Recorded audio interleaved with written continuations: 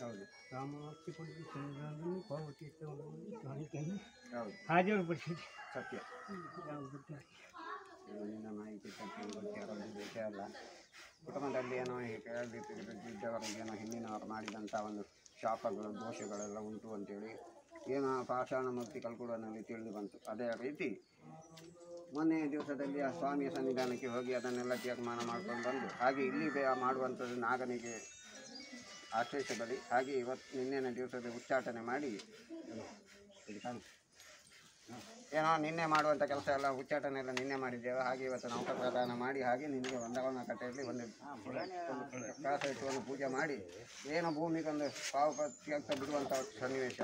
ಅದರಲ್ಲಿ ಎಷ್ಟು ವಿಷ ಎಷ್ಟು ಒಳ್ಳೆಯದು ಕೆಟ್ಟದ್ದು ಬಂದು ಹೇಳೋದು ನಮಗೆ